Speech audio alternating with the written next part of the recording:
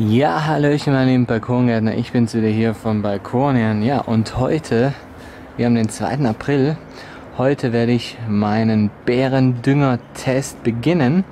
Und wie ihr vielleicht wisst, habe ich hier so einige Bärenpflanzen, Bärensträucher auf dem Balkon. Und das sind jeweils immer die gleichen Sträucher hier, identisch in jeder Reihe.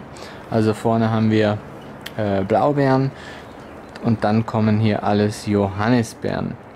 Ja, ich werde jetzt hier den Oscorna Bärendünger gegen den Compo Bärendünger antreten lassen.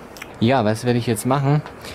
Diese erste Reihe hier, die werde ich mit dem Oscorna Bärendünger düngen und die vordere Reihe, da nehme ich dann hier den Compo Bio Bärendünger und dann bin ich ja mal wirklich gespannt, ob es da einen Unterschied geben wird in der Ernte und in allem, was das Pflanzenwachstum anbelangt.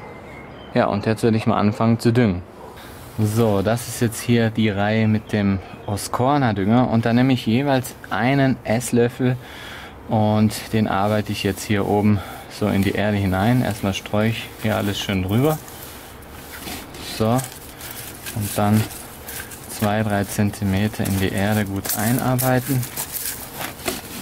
So, das war es auch schon und das werde ich jetzt mit, den ganzen, mit der ganzen Reihe machen. So, bei dieser Reihe verwende ich den Compo ja, Langzeitdünger hier aus Schafswolle. Der soll eine fünfmonatige Wirkungsdauer haben und eben hat eine optimale Nährstoffkombination für Beeren. Na, da bin ich ja mal gespannt. Hier nehme ich dann auch wieder einen Esslöffel. So, einen Esslöffel und den werde ich dann jetzt hier auch verteilen und in die Erde einarbeiten. So ein paar Zentimeter tief.